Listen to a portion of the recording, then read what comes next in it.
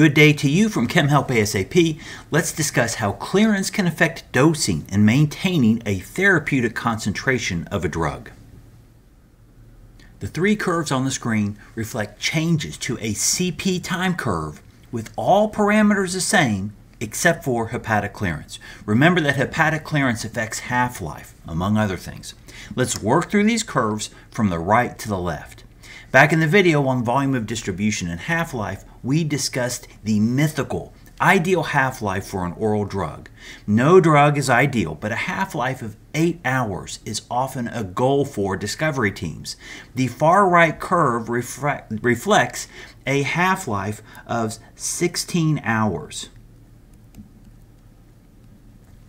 Which is about the upper limit for most oral drugs. This curve looks like a typical once per day oral drug curve. CP rises with each dose and drops between doses. Based on the low hepatic clearance for this molecule, the half-life is about 16 hours. Something else is affected by hepatic clearance. Bioavailability, F. So F is large for this compound. F equals 0.85, 85%. We get a high F because our hepatic extraction ratio is small. Just 0.15. In other words, just about all the dose reaches the central compartment, so we get a nice lift for CP with each dose. The longer half-life gives a less dramatic drop between doses. The dynamic range in CP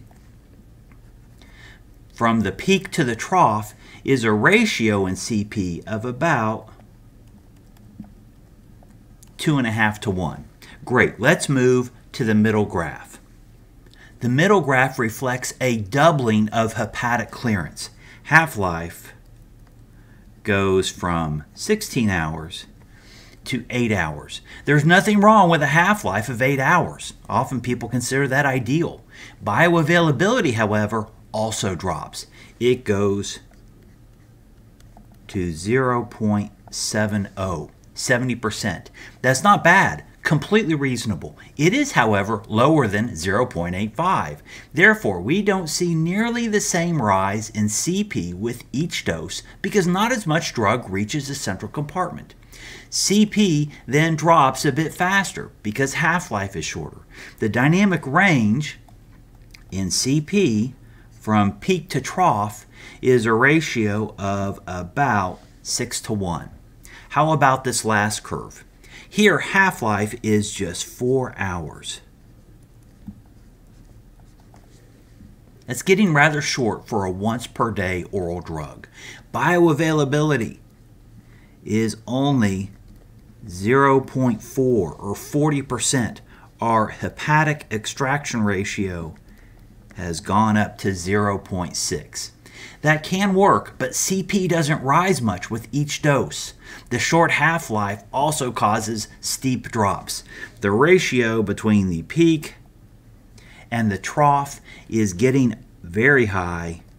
It's about 30 to 1. The therapeutic window for this case would need to be very wide to make this drug work.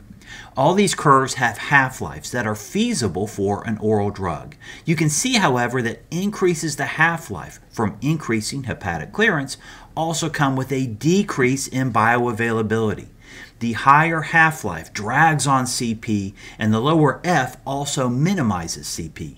Together, these two facts make designing a dose that maintains a therapeutic CP much more difficult for higher hepatic clearance. Increasing the dose can address some of these problems, but that does not help the large therapeutic window. The lesson is that dosing is much easier to control if hepatic clearance can be somewhat minimized. Thank you for watching. Please subscribe, like, or leave a comment. Take care.